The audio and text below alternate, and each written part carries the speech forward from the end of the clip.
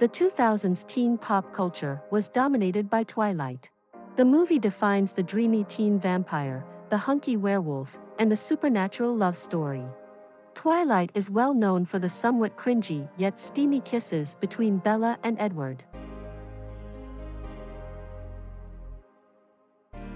New Moon took fans on an emotional roller coaster as Edward decides he can no longer put Bella in danger.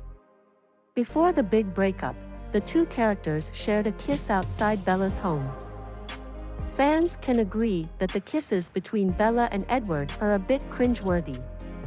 Both characters seem to have a hard time reining in their desires and making the kiss short. The entire honeymoon bedroom scene counts as a notable kissing scenario. Fans can agree that the steamy night as a married couple was also a bit cringe-worthy, but it's still remembered for one reason. Edward actually gives in to Bella and indulges in a night of passion.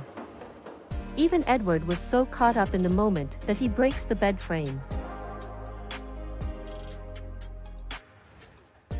In Eclipse, Bella is taken up into the mountains to keep her safe from the newborn army and battle that will take place.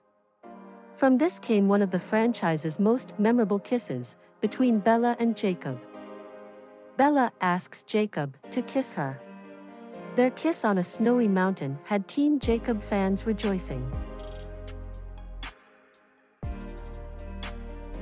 The first kiss is a big deal even for Bella and Edward.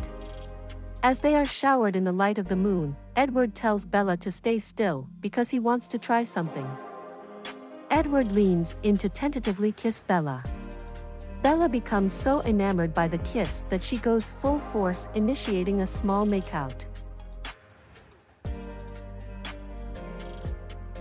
Edward and Bella may take the cake for the most kisses seeing as they're the main character, but none top the first kiss between Bella and Jacob.